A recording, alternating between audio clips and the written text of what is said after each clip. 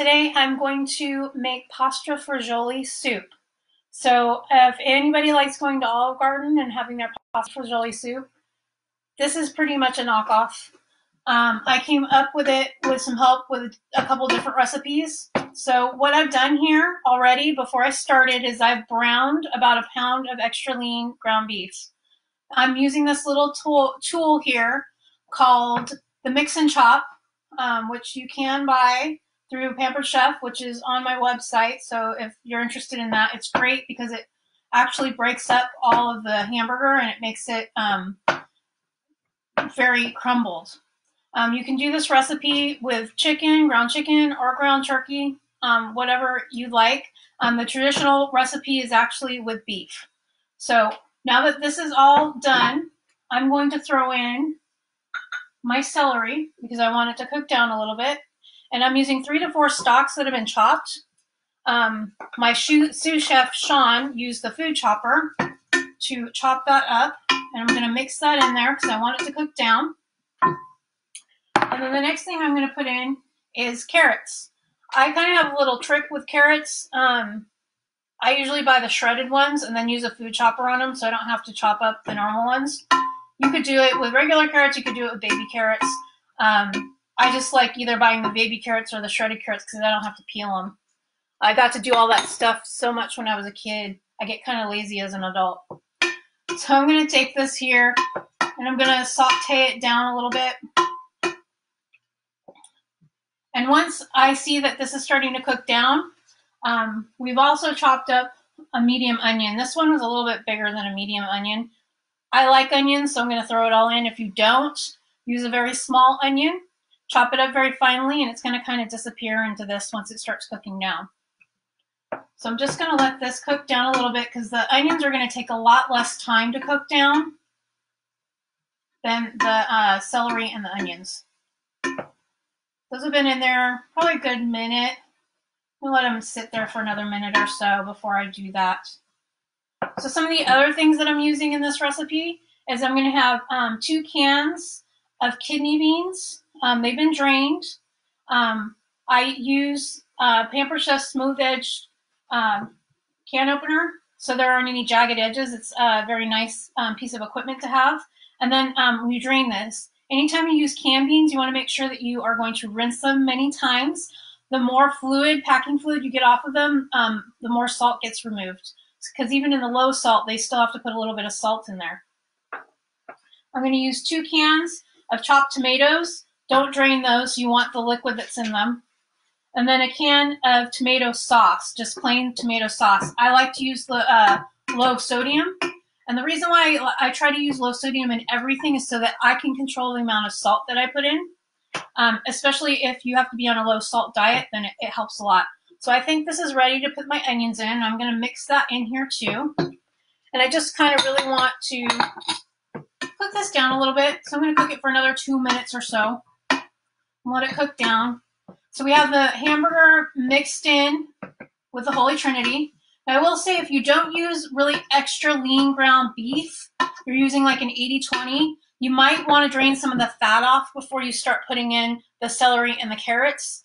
Um, with the extra lean, because this is 96% lean, there isn't a very there isn't very much oil that comes out of the meat, so it's not really greasy.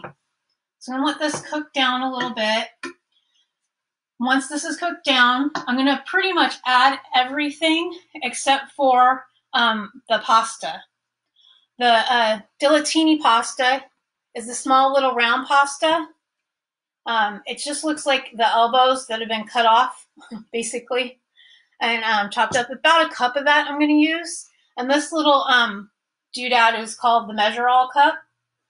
Um, you can do dry on this end and wet on this end, and it kind of gives you all the measurements that are in there. It's pretty nifty.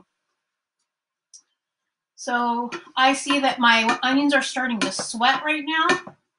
Now I'm going to put in my garlic. I have three cloves of garlic. Again, I use the pre-chopped stuff, so I put a little bit more in. I like garlic. If you like garlic, you can always add more. This is going to be boiled for a little while, so it's not going to, you're not going to get a huge garlic presence, even if you put a little bit more in. So I'm going to mix that up until I can kind of smell the garlic. I just want it to warm up.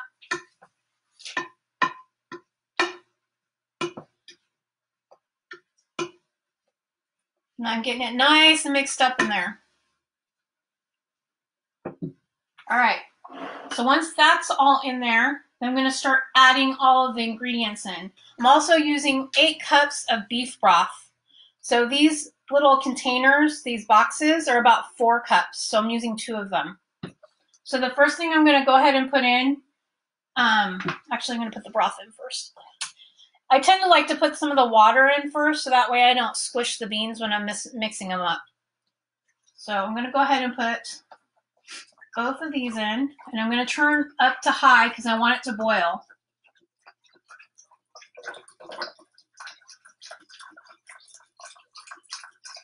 And remember, this is a soup.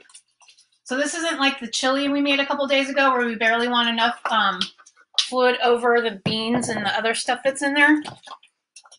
This is actually a soup, so you want it soupy.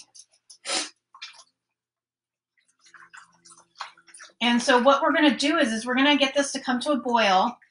We're going to boil it for about 10 or 15 minutes. I have 15 minutes in the recipe. You could probably get away with 10. Because all you really want to do is mingle all those flavors together. And then we're going to wait to put in the pasta. Because it's going to take about 8 minutes for that pasta to cook. And you don't want to overdo the pasta, otherwise it's going to suck up all your fluid. So once um, we let it cook for the um, 10 minutes or 15 minutes, then we'll put the pasta in and we'll let it cook another 8 minutes. So I'm going to put my tomatoes in.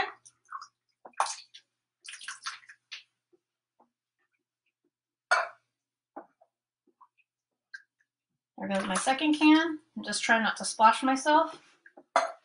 And now I'm going to put in my beans. Be careful here. That's two cans of beans. Get that all nice and mixed up. And you'll see there's lots of goodness in here. All right. And then I'm going to put in one can of tomato sauce. The tomato sauce is kind of give it its um, tomato base, and it's going to thicken up the sauce a little bit.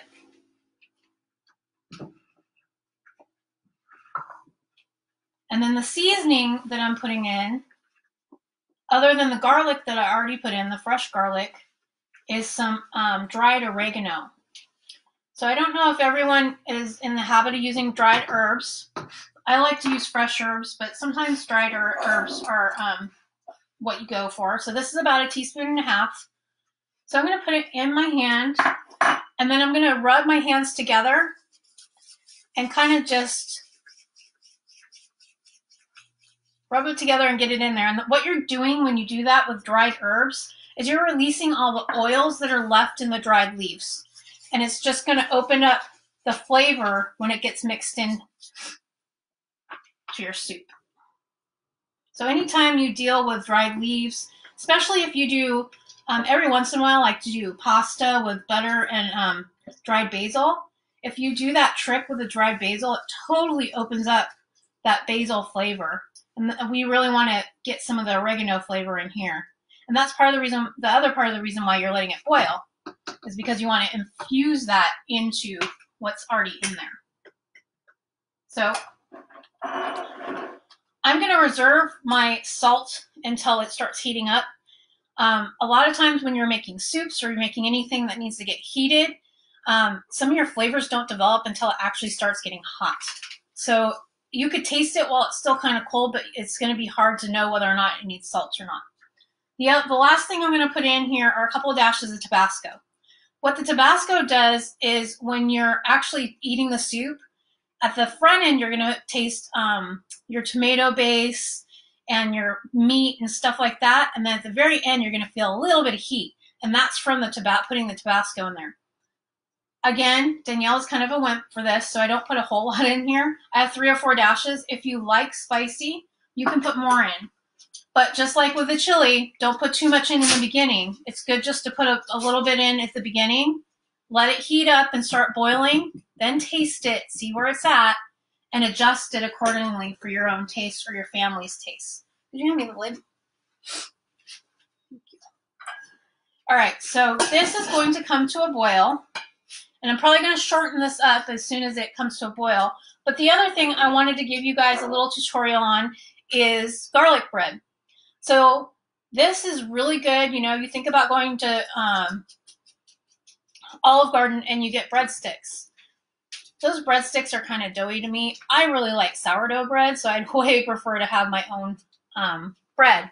So I have some bread here. My sous chef has already cut up.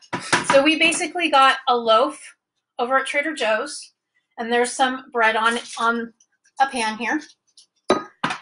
And I'm going to put my oven on broil, which means that my rack is up on the top. And anytime you turn your oven on broil, you need to leave it cracked. You shouldn't shut the door. So I'm going to broil this. And what I did was, is I took some butter. Ooh, gonna have to put it in the microwave again for a sec. Well, please. I actually have melted it. You want it kind of soft, otherwise you can't brush it on. So what I'm using is I'm using a silicone brush, and I'm gonna brush some of that warm butter onto the bread. That way you don't oversaturate the bread with butter. I know butter tastes great. Everybody likes butter. Um, but you don't want to overpower it. So if you take the brush, you can just kind of brush it on and it can be softened. It doesn't necessarily have to be like totally melted butter. But you go ahead and you just kind of put that all on there. I'm going to do these really quick here.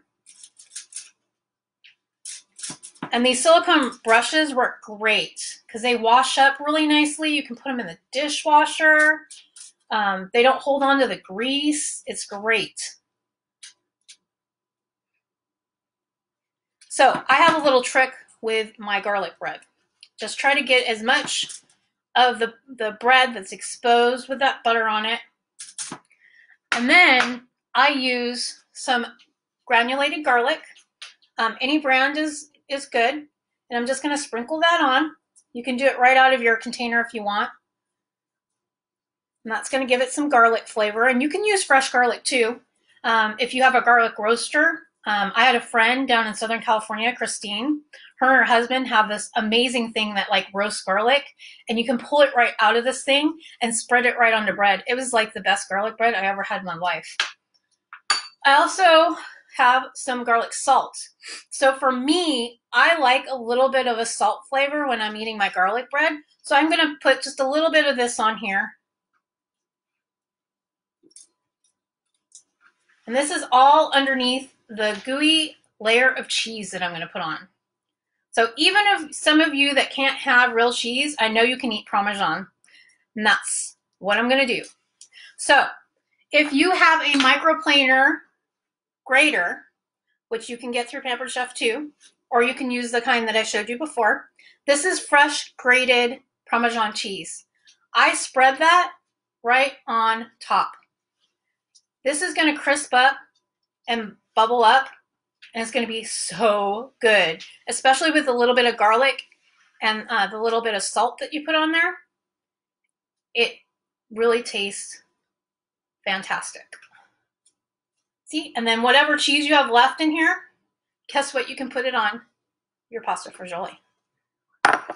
So my bread's all ready. Looks like my oven's all ready. So this you really want to take um, special care with and pay attention to it because you don't want it to burn. Some people, depending upon your ovens, you might have to put it in one side and turn around and put it in the other side. Um, just depends on your own oven. So I'm just going to stick that in there. And it's probably not going to take very long. We're going to let that brown up. And this is almost coming to its boil. I can see it coming up here.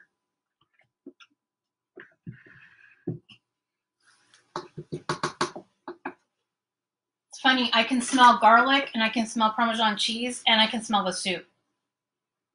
Mostly because I have it all over my hands right now. So once this comes to a boil, you want to let it boil for, like I said, um, 15, 10 to 15 minutes. After it's boiled for that long, then go ahead and put the pasta in. That's your cup of dilatini pasta. Let it boil for another eight minutes, and that'll cook the pasta, and then you're ready to serve.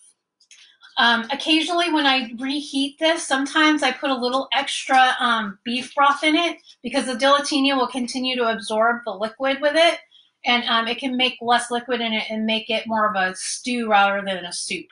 So if you have to reheat, you might actually have to add a little bit of beef broth or chicken broth, whatever you're using, um, in order to make up for the fluid that the pasta is going to suck up, and that's why you don't want to use more than that cup that's recommended. So let's look. Looks like it's almost done already. The bread, I mean. Let's see. Yep, here we go. It's nice and melted. And let me turn this off.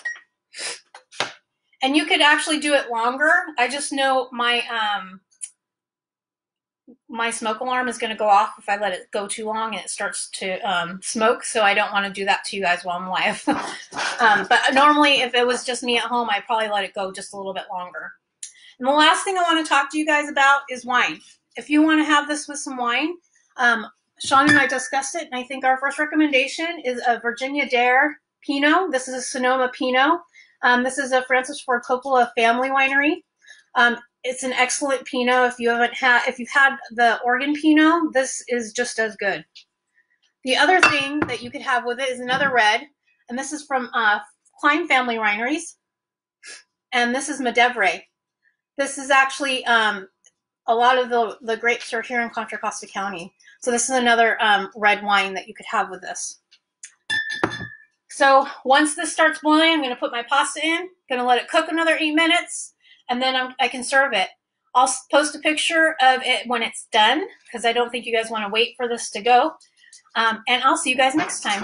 Thank you.